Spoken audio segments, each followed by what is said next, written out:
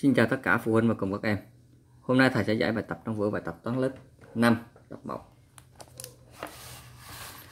Bài hôm nay chúng ta sẽ làm là bài 83 giới thiệu máy tính bỏ túi trang 102. Đây, thầy giới thiệu cái máy tính bỏ túi. Nè.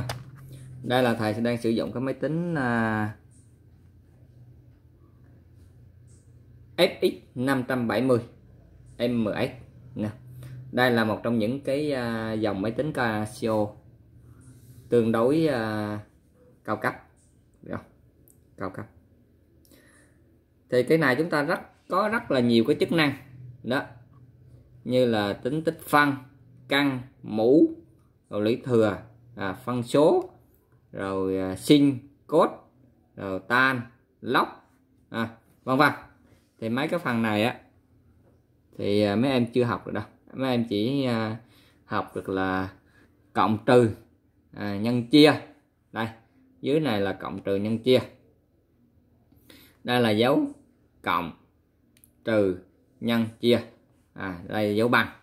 Đó, đây là những con số 0 1 2 3 4 5 6 7 8 9 đó, đây là dấu phẩy. Ví dụ như muốn tính là 12 rồi bấm số 1 số 2 rồi bấm dấu phải là 5 đó, đó gọi là 12,5 1 2,5 cái này chắc chắn thì mấy em cũng ờ, rành rành. Tại vì thầy dạy mấy ờ, bạn lớp ờ, 5 thì mấy bạn cũng bấm máy tính khá rành.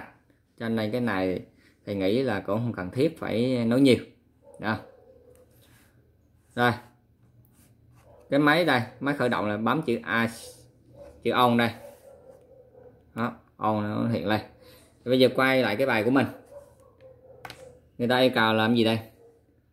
Thực hiện cái phép tính sau, rồi kiểm tra lại kết quả bằng máy tính. Đó. rồi chúng ta cộng, rồi chúng ta lấy máy tính, chúng ta bấm lại thử xem coi đúng hay không. Bốn là cộng 6 là 10 không nhớ một. 8 14 12 13 dấu 3 là như một dấu phải là hạ xuống.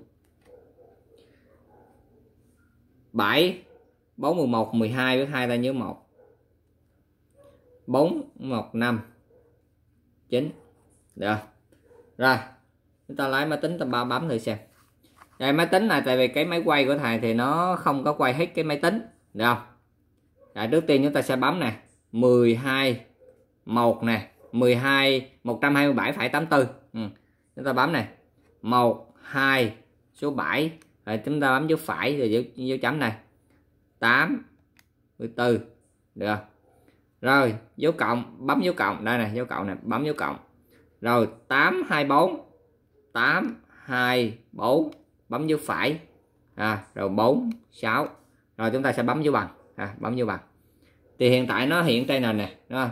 Đó thầy chưa bấm dấu bằng á. Rồi thầy bấm dấu bằng này. Bấm dấu bằng. Thì đây. Đó nó sẽ hiện ra là 952,3 đây. 925,3 tại vì số 0 phía sau này là nó không có ý nghĩa chúng ta bỏ cũng được. À, không sao. Đó, như vậy là đúng với cái cái cái, cái cộng. Cái máy tính và cái cộng ở ngoài chúng ta đúng. Rồi chúng ta sẽ qua bài trừ. 8 ta trừ ngay chỗ này không có gì là số 8 ta hạ xuống. 1 ta trừ 3 không được ta lấy 11 11 ta trừ 3 được 8 trả 1 này dấu phải. 14 ta trừ 10 bằng 4 trả 1 11 ta trừ 8 là được 3 trả 1 là 0 đâu rồi như vậy là 34,88 chúng ta bấm máy tính. Rồi nè 3 1 4 phải 18 đâu bấm dấu trừ. Đây, dấu trừ nè. Bấm dấu trừ. 2 7 9 phải 3 rồi, ta bấm vô bằng.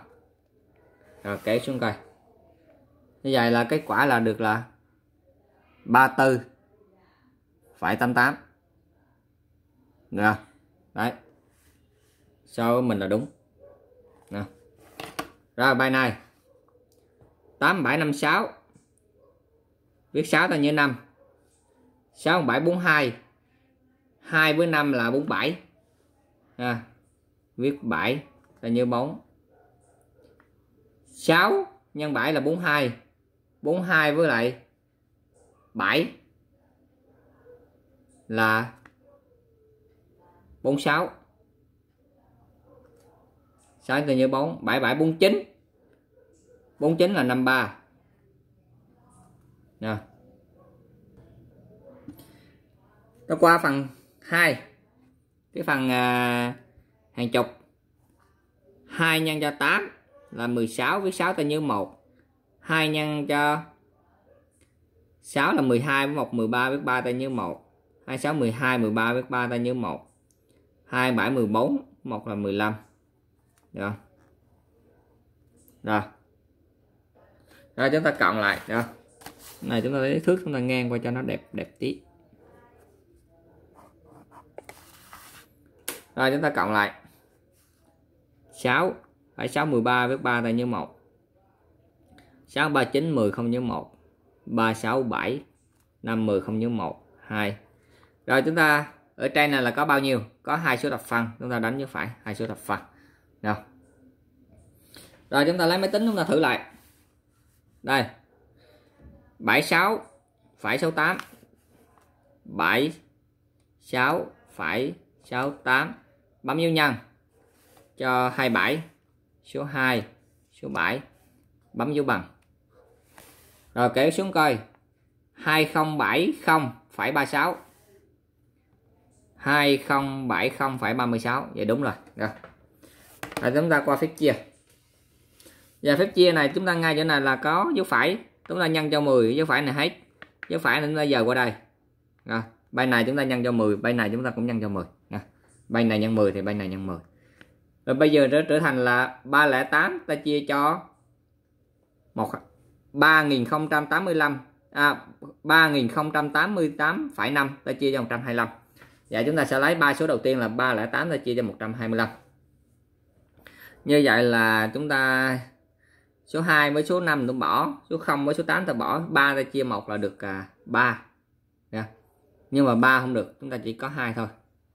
Được.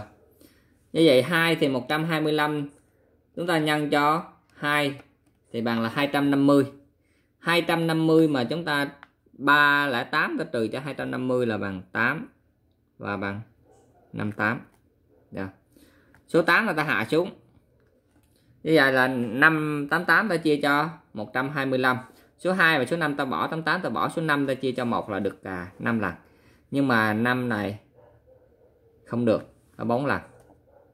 Được không? như vậy 125 mà ta nhân cho 4 thì bằng là 500 500 như vậy là còn lại dư là 88 được như vậy số 5 là chúng ta sẽ hạ xuống. Đây là số thập phân cái phần thập phân thì chúng ta sẽ đánh dấu phải.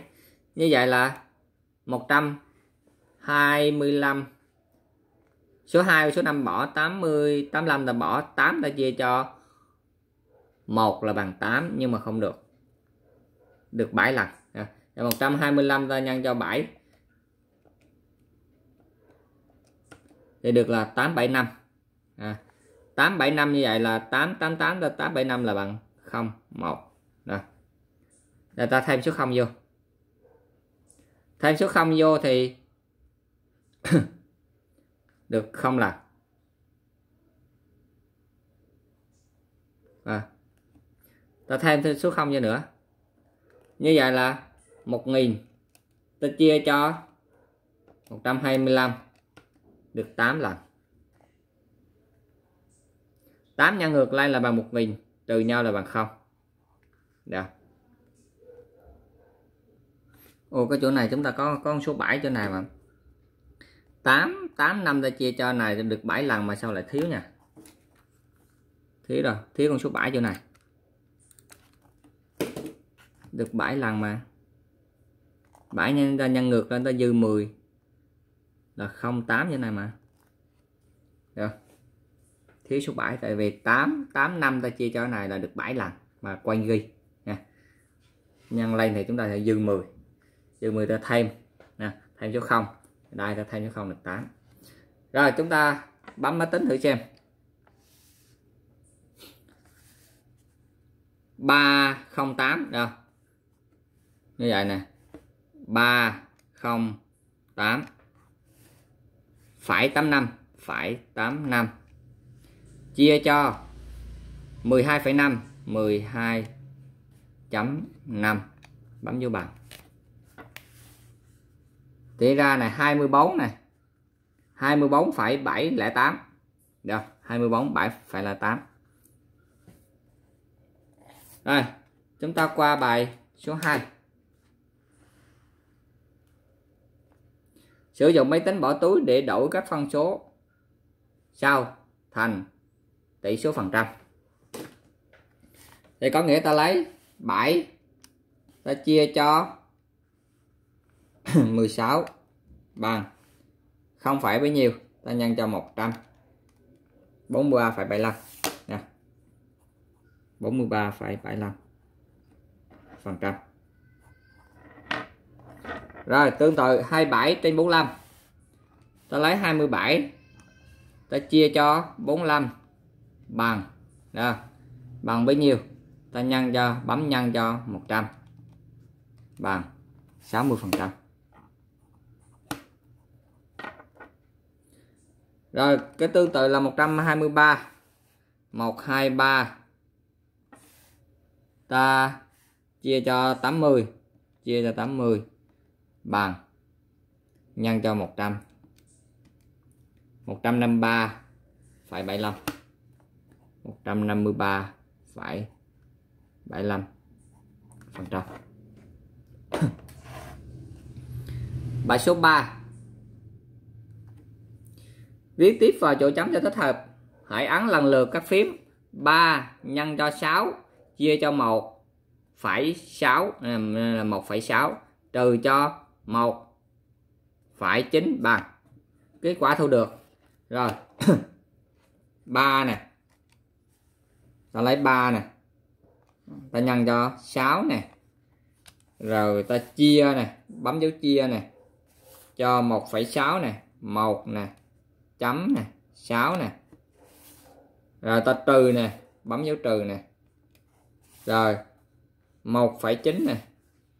Trừ cho 1,9 nè. Nè.